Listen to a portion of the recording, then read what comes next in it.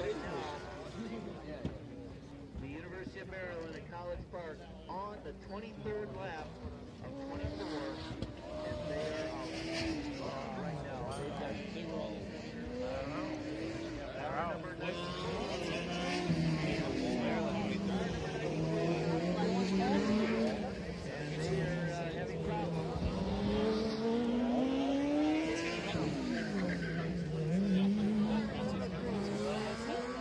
Hit the wall. Yeah, I think that's what I heard. Hit the wall on the 23rd lap. Maryland?